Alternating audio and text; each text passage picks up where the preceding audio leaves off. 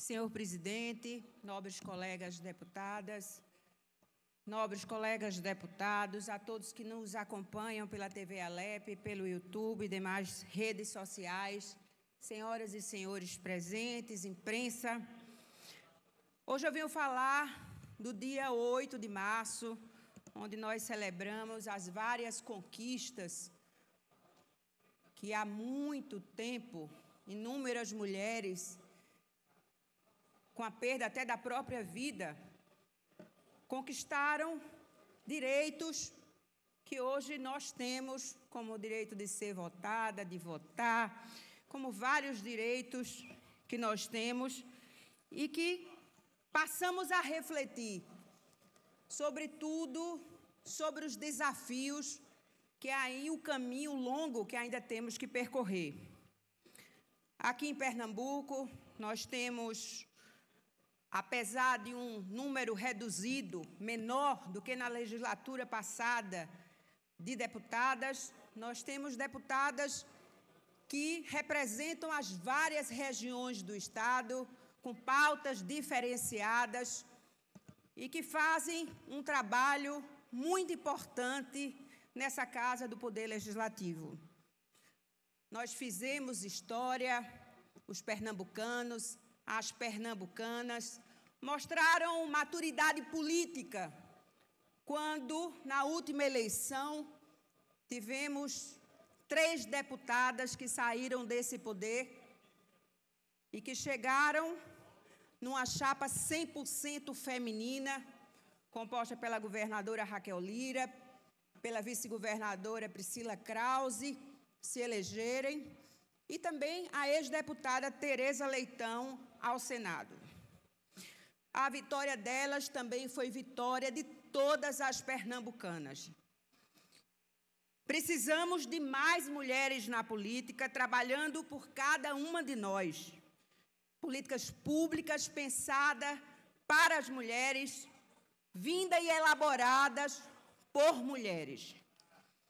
Infelizmente, Pernambuco ainda enfrenta altos índices de feminicídio e de violência doméstica, ameaças, agressões, torturas, ofensas, assédio. E são inúmeras as violências sofridas que não começam e não se esgotam com as mortes das mulheres. Essa é uma realidade, infelizmente, que permeia todo o nosso país e que perpassa por camadas muito profundas, que clamam por iniciativas que garantam às mulheres independência emocional, mas, sobretudo, autonomia e independência econômica.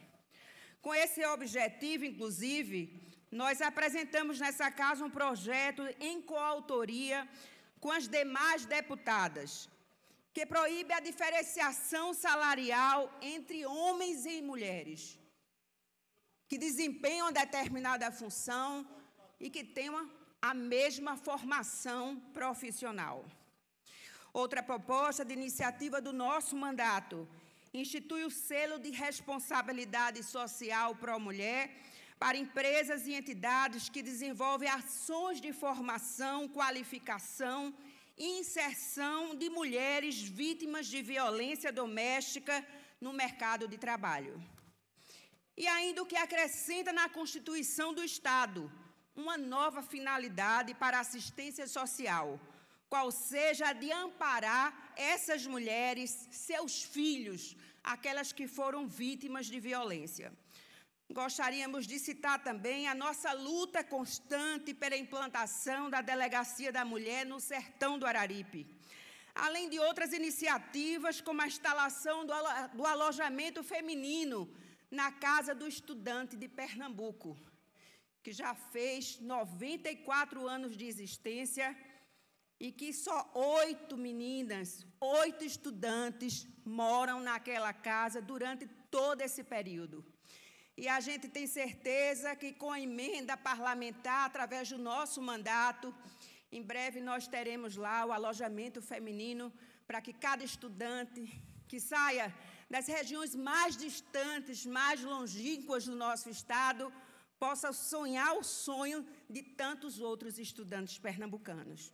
Nessa casa, idealizamos a implantação da sala de apoio à amamentação da mulher trabalhadora, que com o apoio da mesa diretora, do presidente dessa casa, do primeiro secretário e dos demais parlamentares, já está funcionando, atendendo as mulheres, mães que trabalham, que vêm até a Assembleia Legislativa, sendo essa a segunda casa de todas as casas do legislativo do nosso país, até um equipamento tão importante e que faz com que haja uma diminuição grande na mortalidade infantil.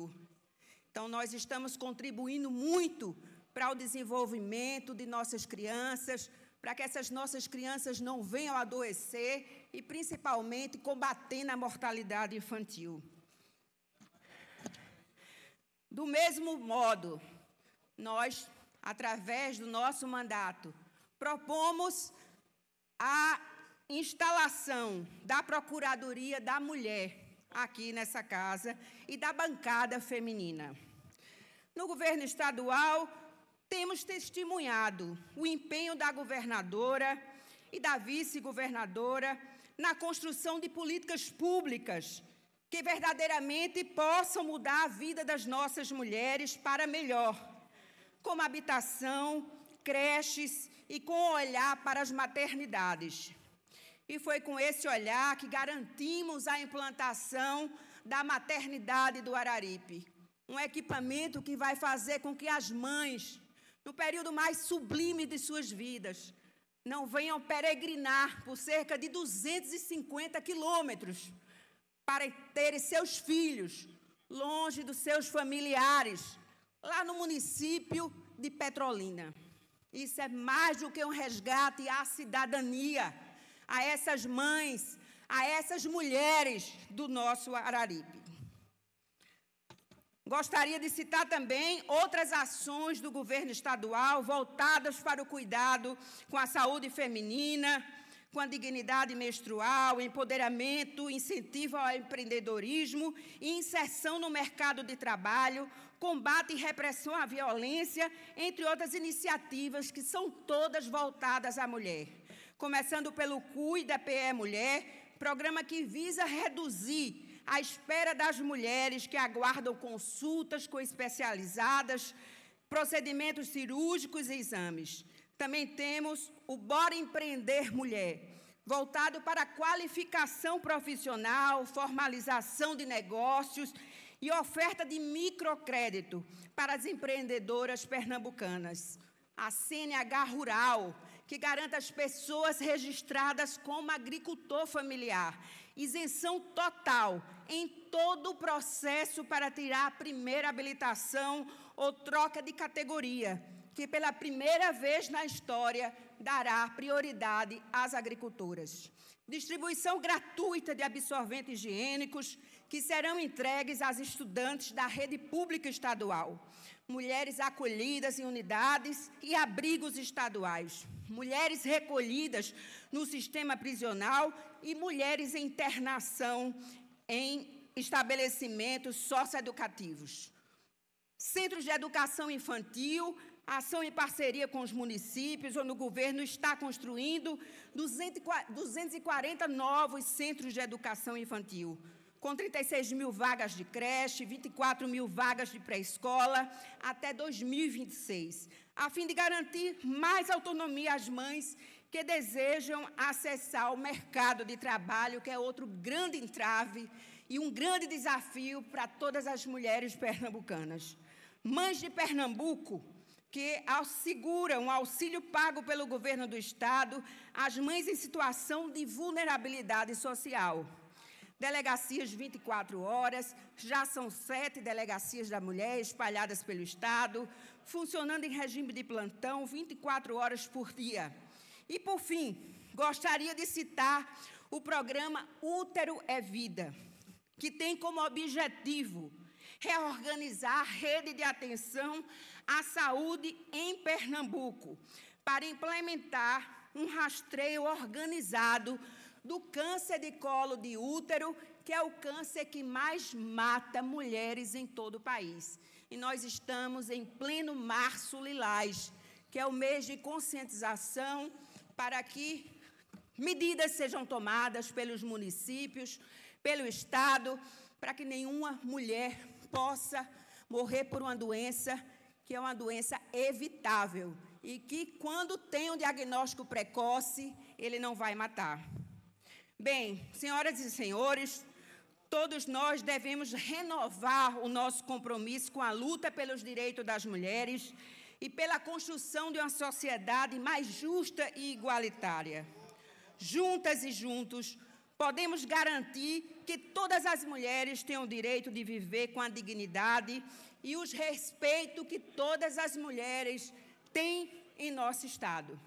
Quero aqui parabenizar o presidente Álvaro Porto, o primeiro secretário Gustavo Gouveia, em especial ao superintendente ex-deputado Isaltino Nascimento, por toda a ação de cidadania, de saúde, que foi implementada desde a semana passada pelo primeiro Fórum Alep Mulher, que iniciou hoje com pautas importantes, pertinentes, e que fazem parte da realidade do dia a dia das mulheres pernambucanas.